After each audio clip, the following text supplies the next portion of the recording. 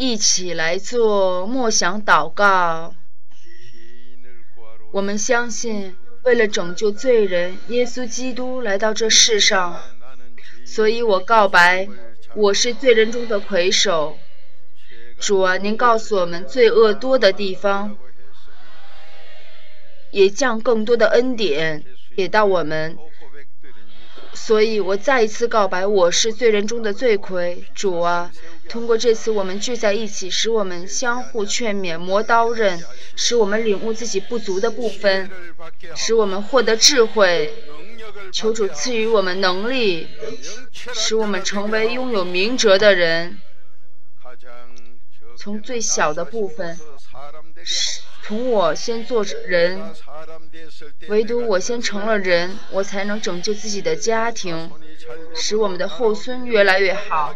这时候，我们能为这个国家和民族做爱国者，使我们在这世上都做基督的仆人，来实现人类的和平。我们相信。这次主一定使我们充满感恩感谢，使我们所有的人喜乐得到应许。求我主使我们一定做上帝的儿女，在这世上做上帝的儿女，活出话语来。奉耶稣的名感谢，献祝福祷告，阿门。首先，我们和身边的人相互问候一下，一定会更好的。祝愿您更好。一定会更好的，祝愿您一定更好，一定要更好。这圣诞节是谁是谁降临了？为什么说这是好的消息呢？正是救主降临了，是大喜的消息。救主降临了，但是，一到圣诞节来，好多教会不讲救主啊，甚至都不认识基督和主。都不认识基督主，就比如说我们去餐厅，本来是要去吃饭的，但是光去看，看这个饭碗长得什么样，这不叫餐厅啊。假的讲道就是就是这样的。基督主就是马太福音一章一节，使我们找回家谱。我们大家遇到困难，内心就很着急，很难过。那么我比大家。多做悔改祷告，上帝的话语分明是能实现的。民书记二十三章十九节，而我的信徒们，我们信徒说不行，都陷入沉沦了，属魔鬼，最终离开背叛基督。而上帝最讨厌的就是背叛上帝的人，一定会记录下来，把背叛的人都一一记录下来。我们找一下以赛亚书。三十章八节，犯了悖逆的罪、背叛上帝的人，这样的人名字都被都会被纪念下来，为的是让我们都知道背叛的下场会是怎么样。就是悖逆的罪真的是很可怕的。上帝为什么让我们把悖逆的人的名字都记下来呢？唯独救主使我们得救，唯独基督主让我们得救，还能背叛基督主吗？所以这是很可怕的。民数记十四章三十三节，毁了自己，人生就像沙漠一样，背叛的时候就毁了自己的一辈子，儿女都变成不孝的孩子。申命记二十一章十八节，我们一起来读一下以赛亚书三十章八节，一二，现今你去，在他们面前将这话刻在板上，写在书上。以便传流后世，直到永永远远。阿门。写在刻板上，写在书上。大家往下读，有时间读到第九节、十节的话，就是假的教徒，爱听好听话的人，背叛的人，背逆的人，不爱听上帝言语的人，这样的人的名字都会被纪念下来，然后传给后世。上帝说：“悖逆的人，上帝最恨悖逆的人。”箴言八章十二节，上帝的话语都是有居所的。那讲道都没有上帝的言语，上帝的居所。有些人讲到根本就没有上帝的话语这几章几节的居所，甚至说有居所却没有连接处，连接不起来。上帝的话语是活着的，上帝是活着的，而我们大家总说不行。这上帝的话语正是耶稣，正是圣三位。那么我们到底错在哪儿了呢？就比如说两条电线要连接在一起，怎样才能连上呢？大家知道，两条电线连在一起的时候，肯定是要连接连接处要很结实的连在一起，而且肯定还用透明胶来把它绑上，为的是防止这种电线生锈。那就一个道理，上帝的话语都是连在一起的，而我们却不懂得这一点。大喜的消息，救主降临了。救主来了之后呢，六十六卷圣经全部都是通过救主来连接在一起的。我们不懂得这一点，就都成了假的人，假的讲道，成了假的信仰生活。上帝对付悖逆的人是很可怕的，犯悖逆罪的人什么样呢？以赛亚书三十章九到十节，大家都可以读一下。我们千万不要做这种污秽的悖逆的人，犯了悖逆罪，不仅害死自己，也害死子孙三四代。在这世上很看重钱，把钱放在首位。箴言二十二章一节，稍微有钱了。人就开始想出名声，就来找名分、名誉。没钱的人也找不也找不了名分和名誉。大家知道，海豚表演的时候，海豚表演了一次，就给海豚一条鱼吃。海豚不是爱听话，海豚是为了吃一条鱼才作秀的。我们人类如同畜类一样的人。给了钱就工作，给了钱就听话，所以每次选举的时候花费很多很多的钱，然后自己竞参加竞选，然后自己还违背法律。那么我们不是指责这些现象，我们要领悟，在世上把钱看得很重。上帝创造了这世界之后呢，把这一切的财富、这些钱都已经给了我们，而且是白白的给到我们的。而我们要通过救主来得到这一切的财富。我们没有和救主有任何的关系，我们就得不到这一切呀。那这次我们聚在一起了，我们要走向哪里呢？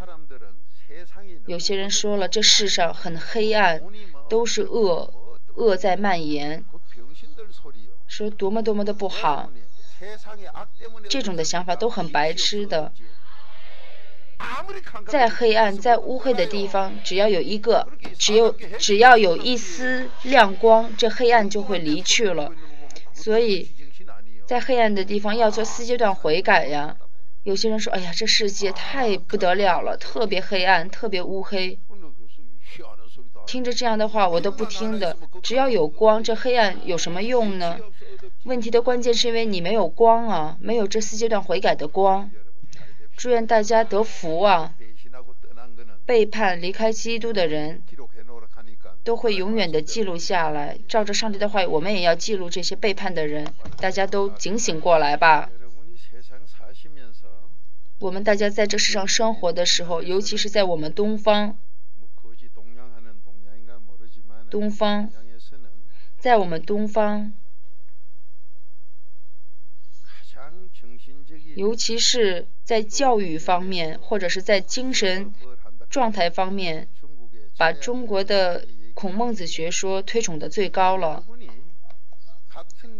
而我们如果成了灭亡的畜类的话，我们成了灭亡的畜类，我们就特别爱听灭亡的畜类这样的话，属于动物的动物水准的话。就比如说，向父母尽孝心吧。谁不想尽孝啊？是自己做不到啊！我想尽孝，但是我做不到啊。那夫妻之间和睦，拥有幸福吧。我们都想幸福，但是我们做不到呀。我们做不来呀。而在这世上，不分辨就去听一些光有表面华丽丽的言语。所以上帝说我们人类都是疯了的。传道书九章三节，只不过没有发作而已。其实人都是疯了的。我们成了灭亡的畜类，就跟疯了的是一样的。讲话再富丽堂皇都做不到。比如说拥有慈爱吧，怎样才能拥有慈爱呢？就比如说，好多人都上大学。为的是要成为一个优秀的人，那相信每个人都想成为优秀的人。什么才是优秀？好多人大学毕业了，或者拥有了博士学位了，博士学位，但是却不知道怎样才是优秀的。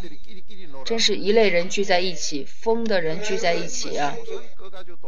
上帝告诉我们，只要我们我们只依靠祖上的财富的话，就走向败坏的。传道书七章九节，有些人，有些国家依靠一个国家的旅游景点，只依靠旅游景点来维持生计，这都是走向败坏的征兆。我们大韩民国没有地下资源，什么资源都很欠缺。但是在我看来，我们大韩民国的水到处都是水呀，三面围绕着大海。那么，我们的江河也很多呀，鸭绿江、图们江，还有天池啊。韩国都是水，到处都是水。那水是什么呢？水就是悔改。悔改，这水就是使我们得救恩的洗礼呀！彼得前书三章二十一节。所以，我们大韩民国是非常富强、很很富有的。图们江、鸭绿江围绕在一起，白头山山顶上还有天池啊！长白山就白头山山顶上有天池啊，没有这么多水。在这世上说，现在水特别的稀缺，而且我们人体里三分之一都是有水，三分之一都是有水。而这里说的水是什么水呢？上帝告诉我们，水是使我们受洗礼的标记。这洗礼是什么洗礼？不会再成为自己头脑里理论的奴仆。格雷西书二章二十节，上帝现在是想给我们奇迹的祝福，给我们能力。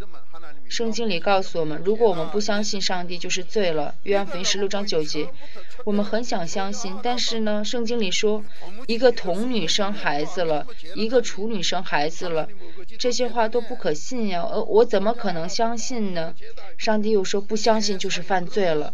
哇，天哪，这是不是有点太勉强了？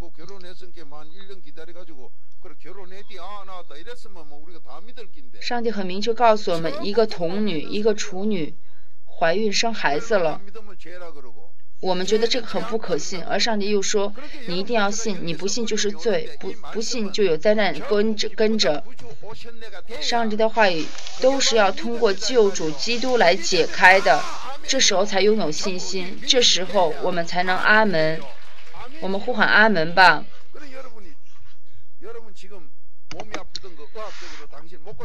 我们身体上有疾病了，在医学上说我们得不到医治，那我们就会放弃。但是上帝说，上帝能医治我们。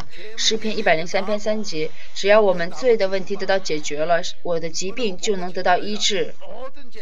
只要上帝先饶恕我们一切的罪孽，然后再医治我们的疾病。所以世上哪有这么好的消息呢？不仅医治我们的疾病，大家和我现在。我们整天头脑的理论和想法、知识太强了，就不信上帝的话语。只有在我们教会里有这样的责备，说世上的学问都是罪。雅各书三章十五到十六节，假的教会绝不可能这么讲。耶稣基督来到这世上，是来招义人还是来招罪人呢？所以耶稣说。生病的人需要医生，没有病的人不需要医生啊。耶稣是这样比喻的。那么，今天上帝告诉我们，大喜的消息，救主降临了。救主只有一位，而没有救主的讲道就成了假的讲道。就比如说，我们去餐厅吃饭，没有餐，没有吃的，光看这个饭碗，这不叫吃饭。大喜的消息，救主降临了。路加福音二章十到十四节，这救主是实现人类的和平的。从我们个人先拥有平安，一个家庭得到平安，直到这个国家得到平安，最终是人类得到平安。上帝为了让我们警醒过来，所以给我们问题。那有些假的教徒就这么讲：哎呀，我们非要犯罪才能得到灾难吗？箴言十三章二十一节，这是上帝的话语呀，是上帝这样记录的。我们犯罪了就有灾难跟着，但是好多牧师就不理解这句话。今天上帝告诉我们，上帝要使用我们。救主降临，大喜的消息，救主降临了。上帝要使用我们做基督的仆人，这是非常庞大的应许。格林多后书五章二十节，上帝要使用我们，使我们做基督的仆人，让我们做基督的仆人。那基基督的仆人要有什么呢？要有上帝的奥秘。我们来找一下格林多前书四章一节。上帝的仆人是要有上帝的奥秘的，基督的仆人是要托管上帝奥秘的，而我们就不认识什么是上帝的奥秘，结果和上帝没有任何关系了，和上帝没有任何关系，和上帝没有任何关系，反而整天去盗用上帝的名称，整天利用上帝的名称，成了说谎的。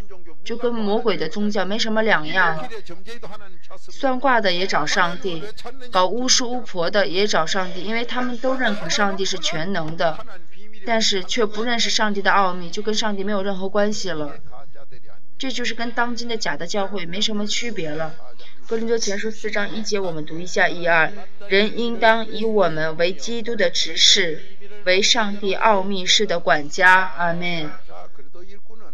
基督的仆人要托管上帝的奥秘。那么，当今的教会有认识上帝的奥秘吗？不认识上帝的奥秘就成了假的了。所以我们大家是多么的有福气呀！我们领受了上帝的奥秘，能和上帝实现关系，这多好啊！而我们呢，整天属魔鬼，整天有自己的想法，整天有理由，这时候就成了上帝的仇敌了。格林多后书十章五到六节，所以总是我们自己走向败坏的地方。再怎么劝勉大家，大家也不听，这都是因为不受洗礼，没有受洗礼，成了魔鬼了。没有受洗礼啊！我内心属魔鬼的话，来到教会。也是给魔鬼拜祭呀！上帝不接受什么样的礼拜呢？跑到基督外边的人，跑到基督外边的人，哪怕在这里献礼拜，也是献给魔鬼的。格林的前书十章二十节。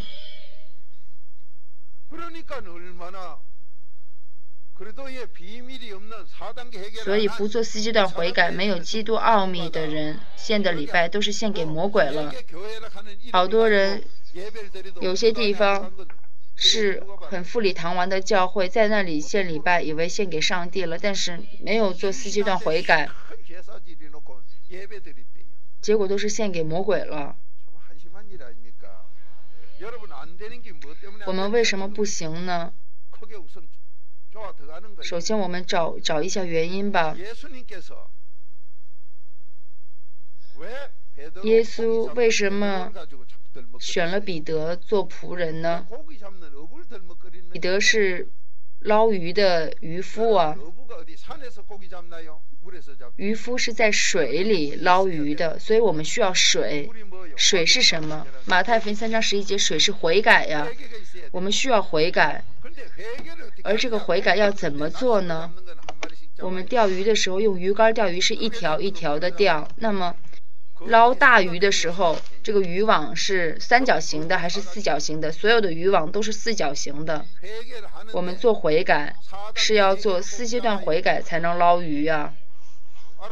嗯，大家还是听不懂，听不明白。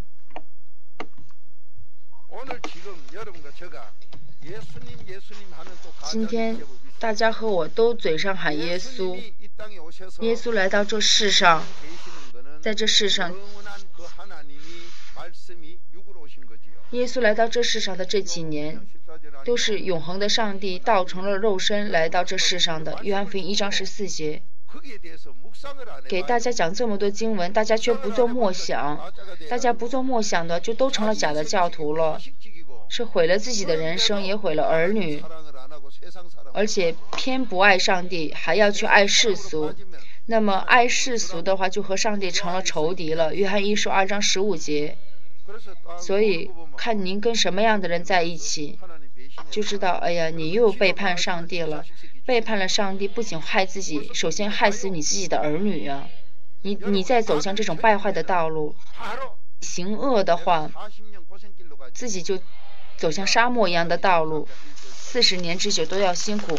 我们找一下《诗诗集》十三章一节。哎呀，牧师啊，不是说七年灾害吗？有七年的灾害。但是七年的灾害还不领悟的话，就要四十年了。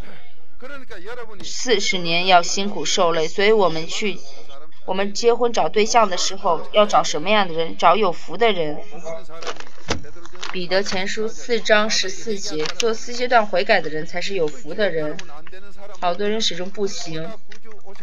大喜的消息。首先是大喜的消息，救主降临了，而大家没有喜乐，都不喜乐，甚至坐在这里，大家脸上还泛青色，脸上僵硬着，硬邦邦的。这个喜乐不是我们自己，不是我们自己来乐的。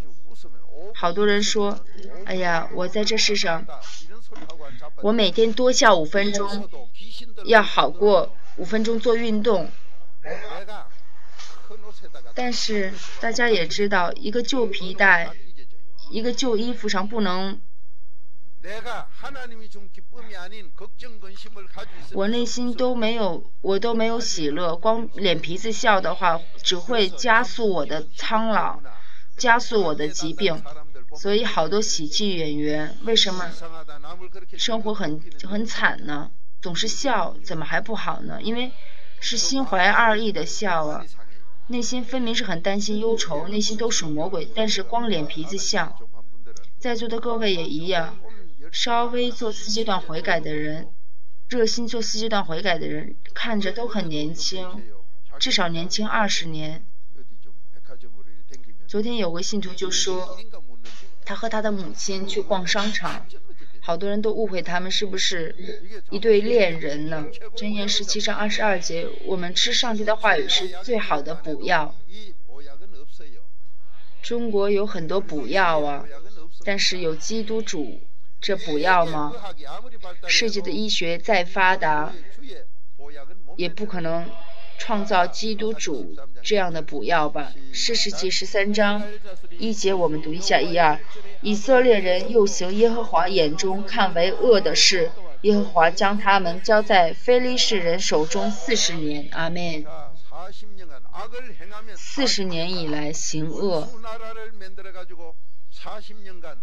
行耶和华眼中看为恶的事，结果就被交在他们的仇敌手中四十年。大家知道。一个王的眼睛都被凹出，都都被挖出来了。一个。王的眼睛都被挖出来了，被巴比伦人残害的时候，王妃也变得很惨，很惨的那个内容特别的凄惨。我们也我们也一样，好多人说我很努力刻苦，我怎么还这么不顺利呢？因为我们身上都带着祖上的罪恶，却没有做悔改。无论是我自己犯罪，还是我祖上犯罪，使我遇到四十年之久的辛苦。那怎样才能抵挡这样的？怎样才能预防这样的灾害咒主呢？我们不是贬低别人。我们要领悟，唯独上帝的话语才能为我们预防这一切，把一切不好的改变成祝福，使我们越来越好。这正是救主来了，我们呼喊阿门。这正是救主来了，救主来到这世上，给我们做的最重要的事情是什么呢？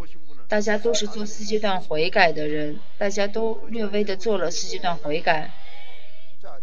我们找一下约拿书二章九节，耶稣为我们显的神迹，唯独是约拿的神迹。耶稣是主啊，耶耶稣就是基督主。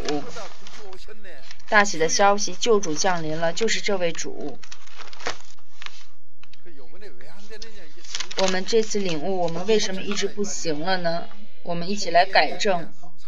师母就告诉我，有体系化，讲的体系化一些。马太福音一章一节，先让我们找回家谱，是从先找回我们的根儿，从救主开始。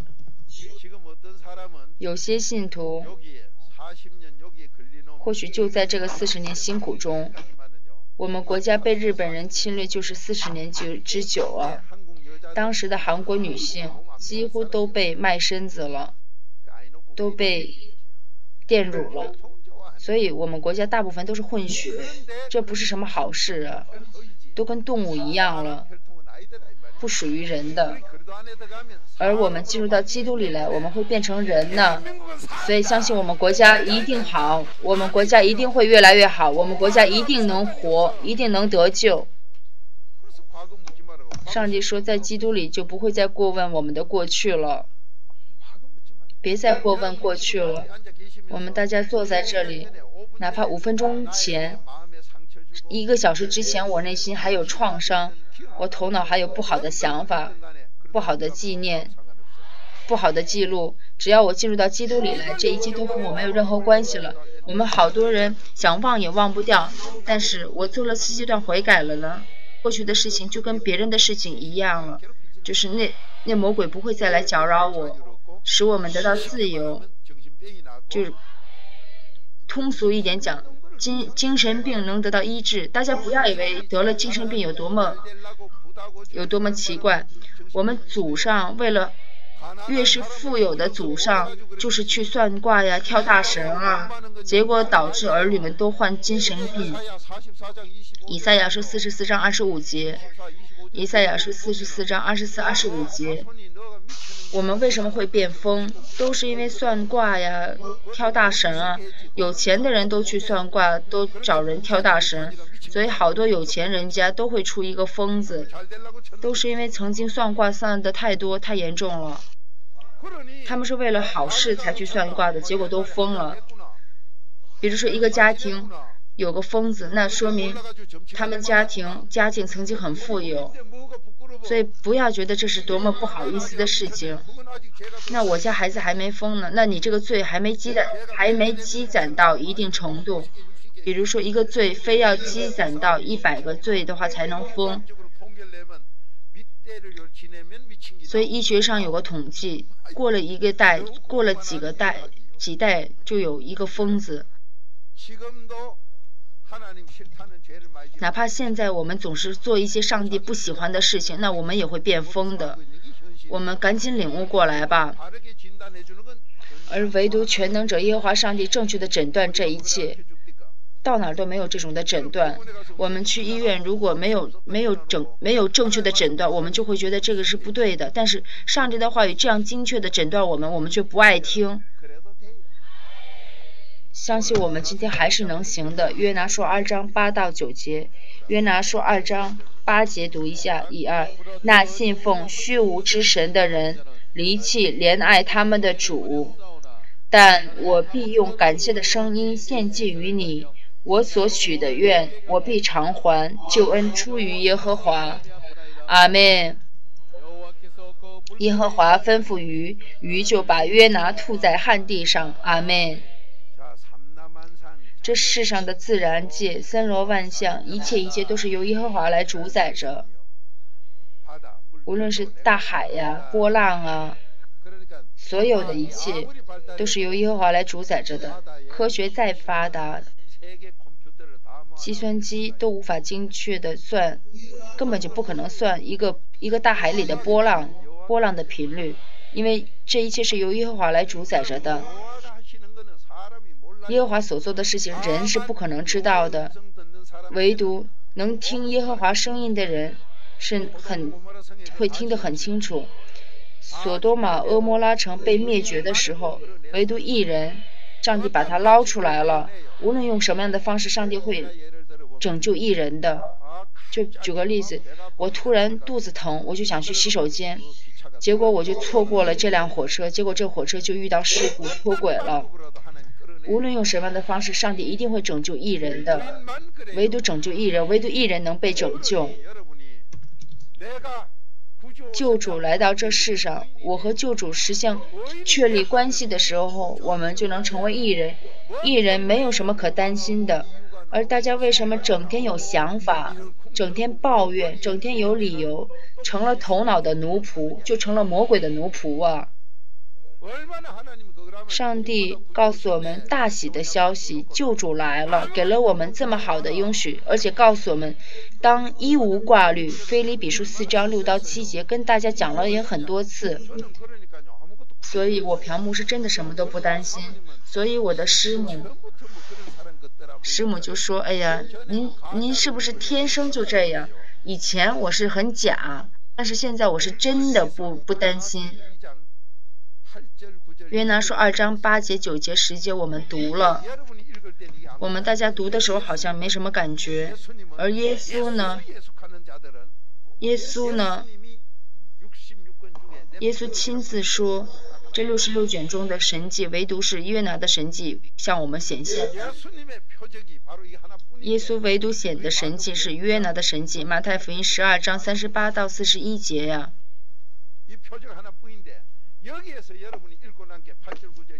我们读了约拿书二章八节、九节、十节。比如说，我们去餐厅，说：“哎呀，这个餐厅，这个餐厅的装潢、装修好漂亮，但是填饱不了我们的肚子。”最终，我们要吃饭，这个饭吃下肚子里，我们才会饱。而我们不知道上帝的话语。我读了之后也不知道该吃什么。六十六卷全部这圣经，用一句话来总结，就是大喜的消息，救主来了。救主就是基督主。基督主是让所有的人，无论处在什么样的环境的人，都能得到喜乐。无论我现在身患疾病，或者贫穷，或者我的命运很不好、很糟糕，或者我身患了麻风病。上帝说：“改变，上帝会为我改变成喜乐。夫妻关系不和睦，儿女不听话，没关系，上帝会为我们改变成喜乐。所以这个多感谢呀，多么感恩感谢呀！世上没有比这更好的、更感谢的了。世上哪来这样？世上哪里有这么好的感恩感谢呀？而我们大家不感恩也不感谢，所以说明我们自己出故障了。所以我跟大家讲过一个故事，有。”有个人从乡下去首尔，看他家儿子的家里水龙头有两个水龙头，一个是蓝色的，一个是红色的。蓝色水龙头就有冷水，红色水龙头就有热水。然后这这父亲就就买了很多水龙头回到乡下，但是却没有热水呀。我们就是这样。光模仿表面的，这父亲光买了红颜色的水龙头去，回到家里，回到回到家里接在水龙头上，能出热水吗？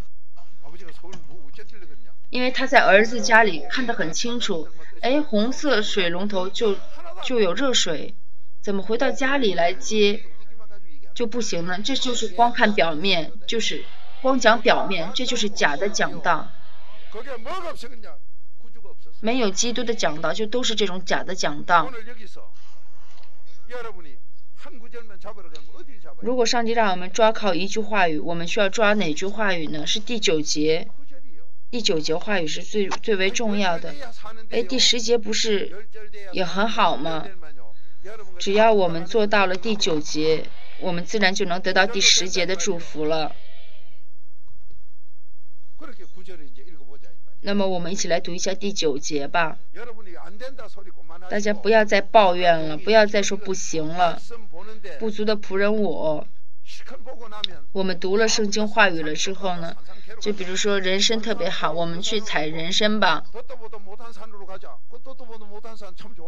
我们去，我们能随便去一个荒野地方去采采人参吗？一定要找对地方才能去采人参，而且不是光去，还要把它采出来，采出来我还要吃在嘴里。那最重要的是什么呀？一定要是吃在嘴里的话语。现在大家明白了吗？非要这样讲，大家才肯明白吗？有很多人参，再多的人参和我没有任何关系，我要吃下去。救主，大喜的消息，救主来了，这就是我的粮食。生命记八章三节。我我今天看了基督教电台，也听到了很好的消息。赞美诗的歌词是在这样写的：“上帝的话语是我们的粮食。”我第一次听说，上帝的话语是我的粮食。我第一次在，我第一次在基督教电台听到这样的声音。但是一定要做四阶段悔改，上帝的话语才能做我们的粮食。我们不做四阶段悔改的话，上帝的话语成不了我的粮食的。所以不做四阶段悔改的话，说的就都成了谎言了。那么这第九节，我们来读第九节。但我必用感谢的声音。感谢发自哪儿呢？我们这四阶段悔改，最后一个阶段就是感恩感谢。四阶段悔改改变我们命运，而最后一个四分之一就是感恩感谢。我们感恩感谢了，才能和主有关系。而大家呢，整天不感恩不感谢，或者说献了感谢，也感只献一丁点的感恩感谢。就比如说，一百伏特的电需要粗的电线还是细的电线呢？我们完整的做了四阶段悔改，最后一个四分之一是献感恩感谢的。当我们感恩感谢是献给主的，我们感恩感谢献给主，主就帮助我们和我和主之间就有关系了，能能确立关系了。有时候有些人给我一些零用钱，而且我们帮忙的时候右手帮的，左手不知道。我们从来我帮人的时候从来不帮我我帮人的时候从来不留名的，但是遇到事情的。有些信徒非要献感谢才能得福的话，我就先替这个信徒献了感恩感谢。而我们大家从来不这样做吧？心里很惦记钱，很心疼钱，拿钱的时候不敢拿大的纸币，非要找小的纸币，所以。我们的想法，我们的心思，上帝是都知道的。我们做了悔改，却不感恩感谢，结果就毁了，毁了自己的人生了。上耶稣向我们显的神迹，唯独是一个神迹，就是献感恩感谢的。但我必用感谢的声音献祭于你。我们通过基督的血做了四阶段悔改，要和主确立关系，所以我们向主献感谢。因为在鱼肚子里，约拿没有钱，在鱼肚子里，约拿什么都没有，什么都给不了上帝，所以约拿用感谢的声音献祭于你，献祭于给主。我所许的愿，我所许的愿，我必偿还。向主献感谢。而我们大家却不献感谢。一根电线再长再长，也要继续连下去，连接下去。我们感谢给上帝，我们感谢给主了，我们才能得到主的帮助。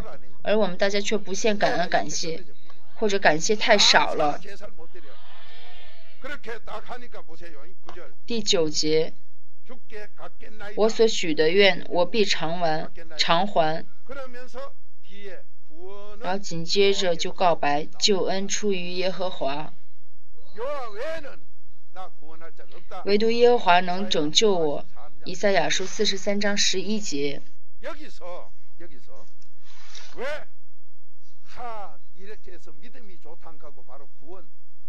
直接就得救恩了，这救恩是我们大家在这世上最终的一个目标。救恩，救恩就是一定要去天国的。什么是救恩呢？我们找一下彼得前书一章九节。这救恩，救恩就是信心呢。信心的终点就是救恩。我们好多人说信上帝，在基督里使我们得到信心的礼物。我们做了四阶段悔改，得了信心，最终是让我们去天国的。如果不能去天国，那信心就不叫信心，是假的了。信心的终点是救恩呢。嗯，大家和我的终点一定是要去天国，要得救恩呢。我们不感恩不感谢，就会理就会有抱怨，有理由，总发怨言，整天背地里说别人，有妒忌、猜忌，内心故意不认识上帝的心总在出现，然后就沉沦了。而上帝告诉我们，如果我们行恶，上帝就给我们四十年的灾难，而且任凭我们不管了，就任凭我们不管了。那这种的人，这种生活多可怜，太可怜了。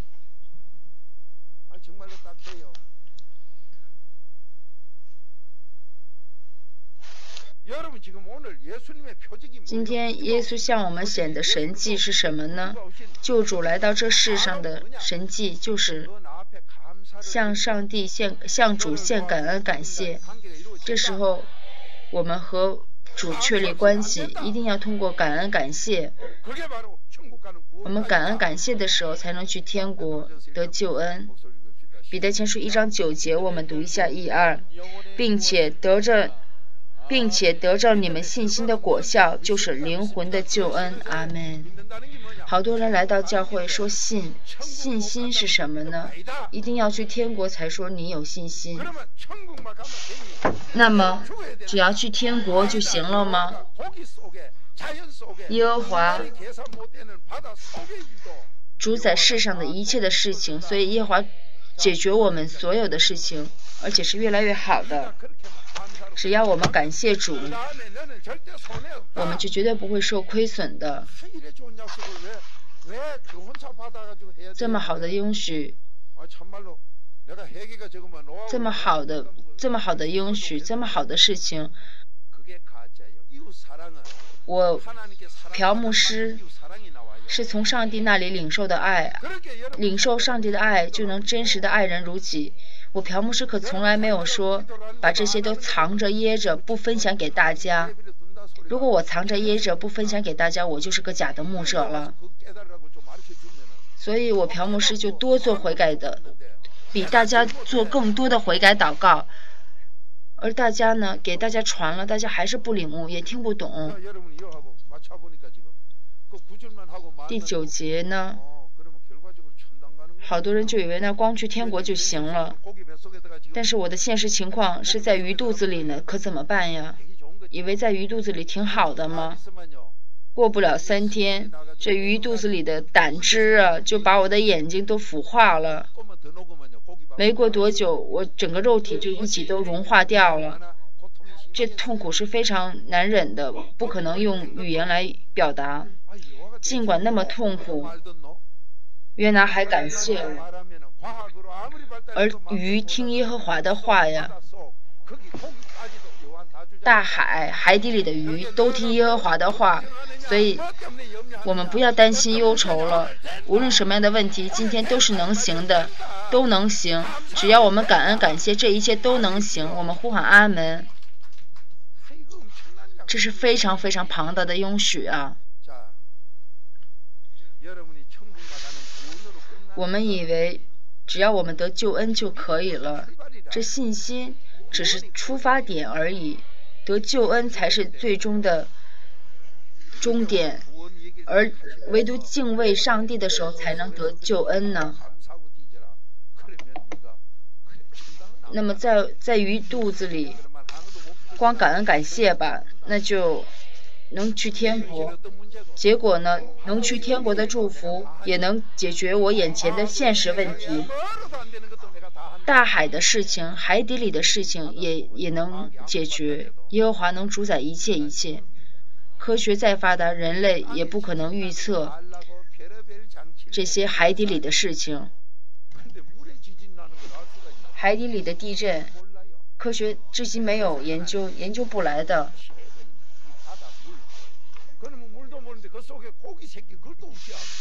海底里的水人都无法预测，那海底里的鱼人更不能预测呀。尽管这样，耶和华都能主宰这一切。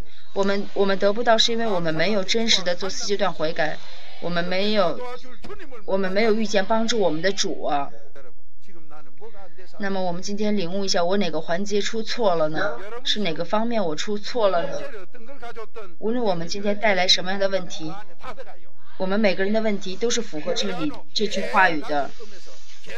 钢琴最高音和最低音里面包括了一切的音符啊。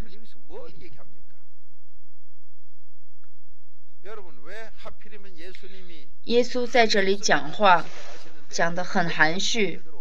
而且很有暗示，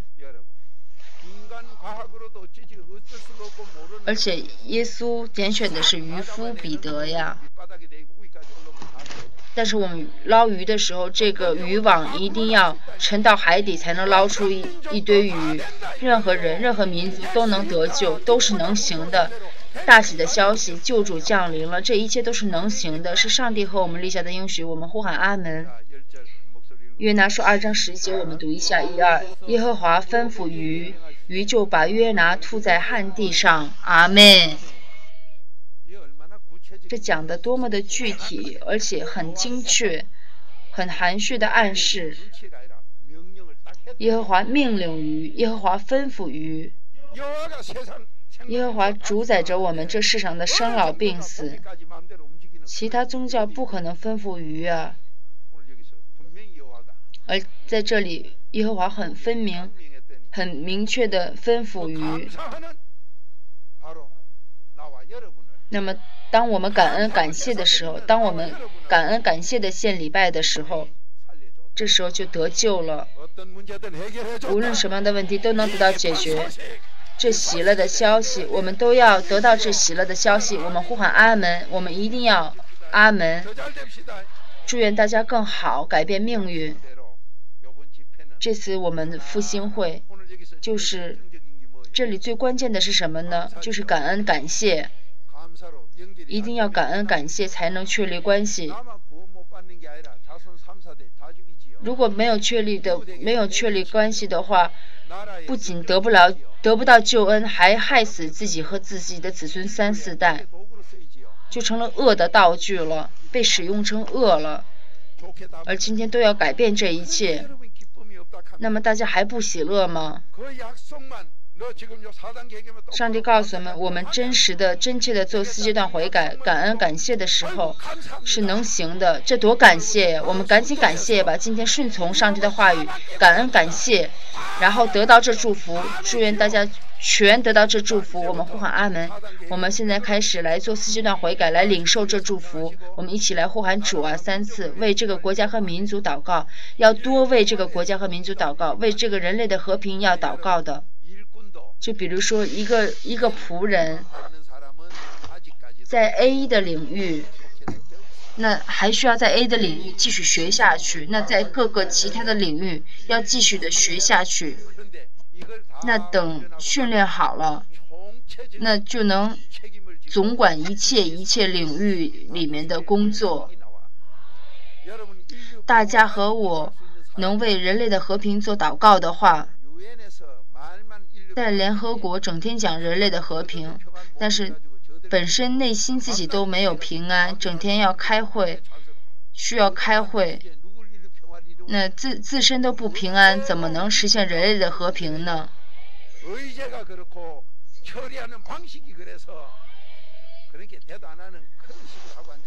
人类的和平到底是什么呀？